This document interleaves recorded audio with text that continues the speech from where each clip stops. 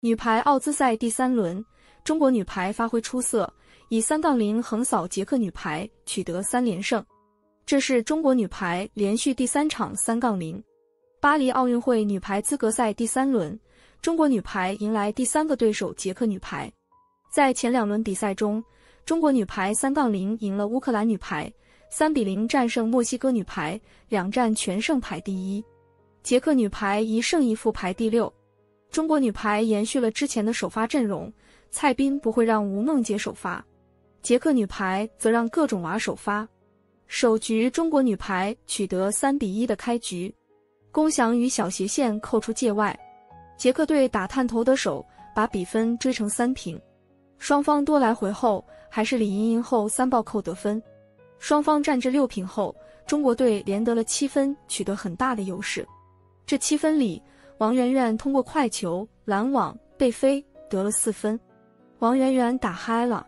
在十八点十一分时，中国队又连得了四分，分差有十一分了。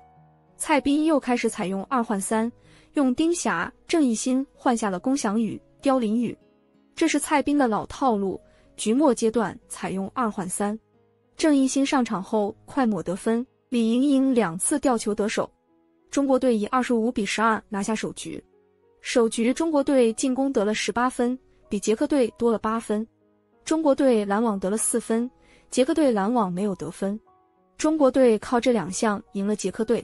首局王媛媛得了五分，王云露和李盈莹各得了四分，袁心玥和刁琳宇各得三分，龚翔宇反而只得二分。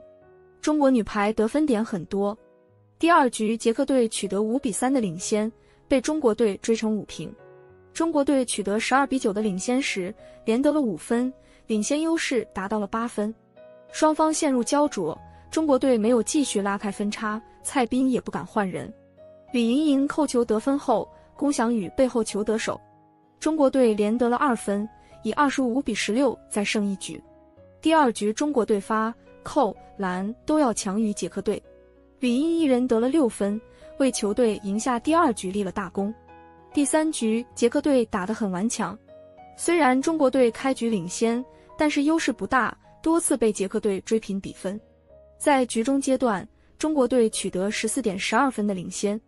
王媛媛发球下网，捷克队员扣斜线得分，龚翔宇扣球出界，挑战打手失败，捷克队连得三分，反超比分。好在当捷克队取得十六点十五分的领先时。中国队也连得了三分，再次领先捷克队。捷克队继续施压，紧咬比分。不过，中国女排还是以二十五比二十三拿下了第三局。最终，中国女排以三比零战胜了捷克队，取得三连胜。三轮过后，A 组最新排名：中国女排三战全胜，积九分，重返第一；塞尔维亚女排三战全胜，也积九分，仅排第二。